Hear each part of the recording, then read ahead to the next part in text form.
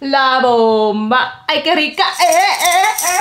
Me sube ritmo por los pies, por los pies. Oh, te traigo esta tuya para que te levantes. Esta tuya para que te levantes. Esta tuya está caliente, esta tuya está que arde. ¡Yeah!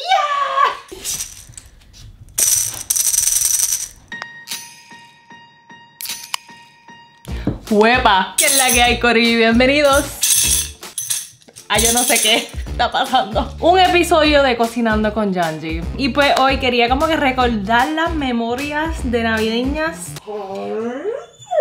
Pina también quiere recordarnos de las memorias mías de Navidad en Puerto Rico, que son las memorias más ricas de mi corazón. Y en lo que bochinchamos, este, quiero hacer una de mis recetas favoritas, de mis postres favoritos de Puerto Rico en el tiempo navideño. ¡Tembleque, tembleque!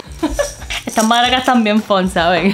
Mira, la realidad es que cuando yo vivía en Puerto Rico, yo no cocinaba tantas recetas boricuas, ni puertorriqueñas, ni nada. Pero cuando me mudé para Nueva York, como que el antojo de comer comida criolla me dio como que un... Hmm, yo quiero probar recetas puertorriqueñas. También tengo un vinito porque, hello, no se puede cocinar sin un vinito. Yo encontré esta receta que se llama Tembleque Puerto Rican Coconut Pudding. Y esa es la receta que yo siempre, siempre he seguido.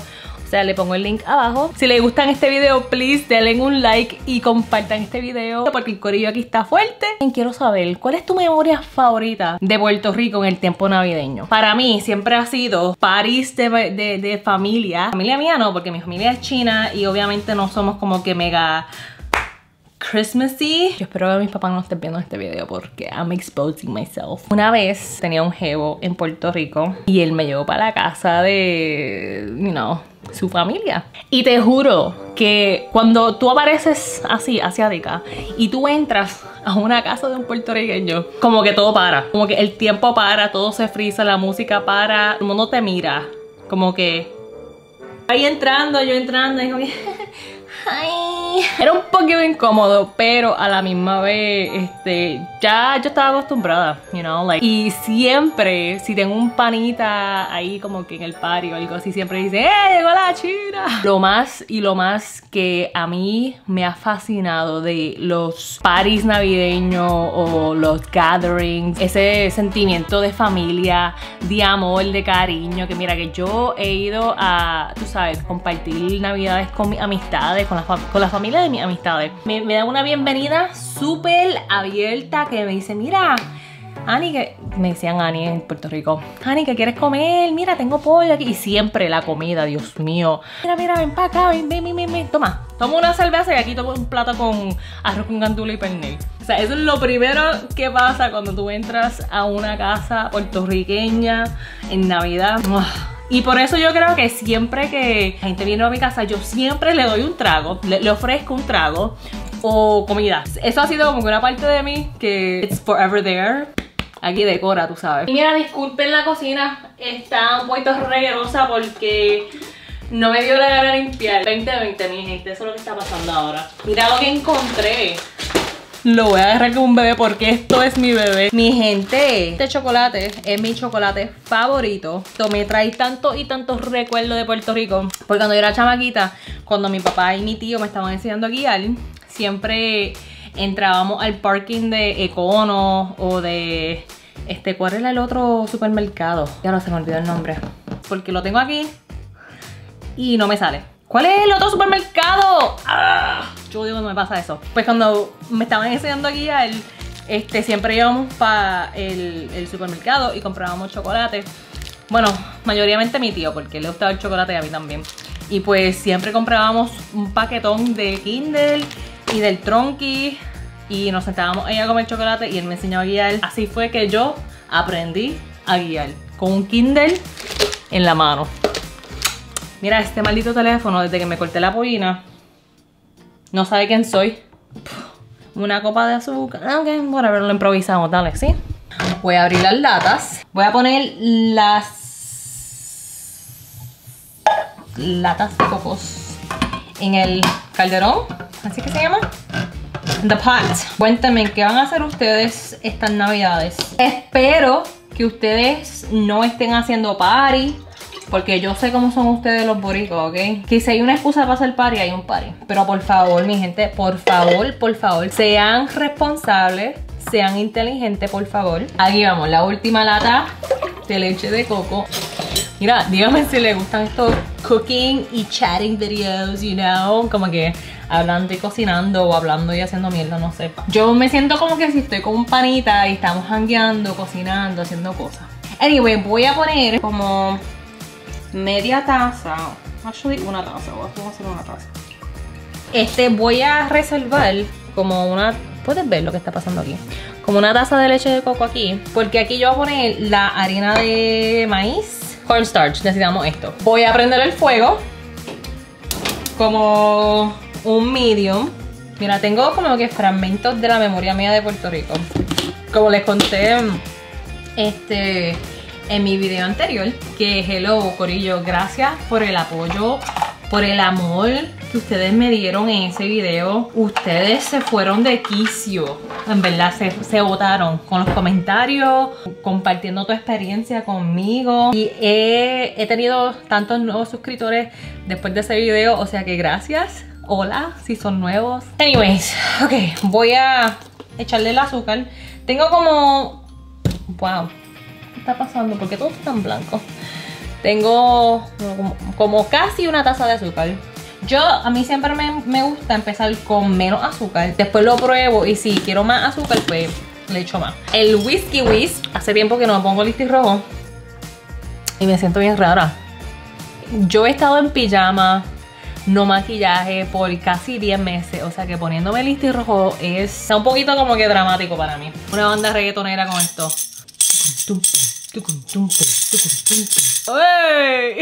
Voy a dar un whisky whisk para que el azúcar se derrita. Ah, como así, de sal. El sal le da como que un contraste, tú sabes. Tres cuartos de una taza de harina de maíz. Tres cuartos de una taza. Y en vez de ponerlo en el calderón caliente, porque si tú echas esta harina de maíz en el hot coconut milk se va a poner como que pelotitas. So, por eso fue que yo reservé una taza de leche de coco aquí porque se derrite mejor el polvo en algo frío. So, lo voy a echar, lo voy a echar aquí y lo voy a mezclar. Ahora, antes de que esto se haga boiling, se hierva, ok, antes de que la leche se hierva, Vamos a echar esto. Obviamente vamos a menearlo. Y yo, a mí me gusta hacerlo como que poquito a poquito. ¡Ah!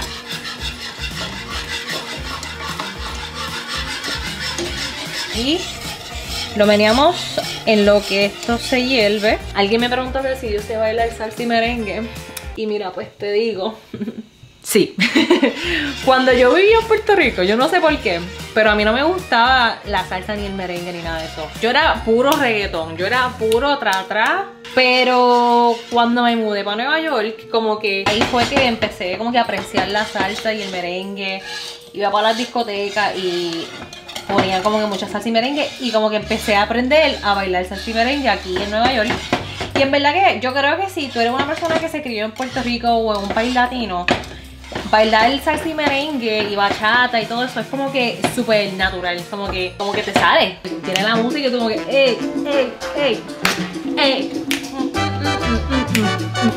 Esto parece una mezcla de brujas, pero no lo es, te lo juro que es mejor. Para mí está bien, no le voy a echar más azúcar. Voy a... Ok, espera. ¡Ay, qué rico! Estoy loca por comerme esto. Ok, ahí estamos. Oh no. ¿Verdad que no sé si esto va a salir de aquí? Me acabo de dar cuenta que yo no sé si cuando yo le haga un flip a esto, el tembleque va a salir completo. Pero vamos a... Lo voy a dejar que se, se enfríe un poquito aquí en la mesa y después lo voy a poner en la nevera hasta que se ponga duro y después lo probamos hoy later por la noche. En lo que eso se enfría y se endurece, me voy a comer esto, que es lo que sobró en el, calderón. Mmm, wow. Creo que el tembleque está ready y tengo aquí mi... Quiero. ok, aquí tengo a mi hermanita Ashley. Ustedes la vieron cuando hicimos el Burger King Mukbang. Estúpida, cállate, estoy haciendo un video aquí. Voy a hacerle un tembleque, tembleque, tembleque. Nena, can I help you?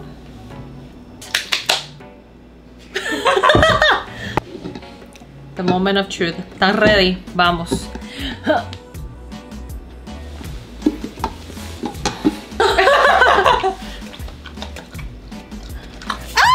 ¡Qué lindo! Y un poquito de canela. Uh, uh. ¡Ay, qué rico, Dios mío!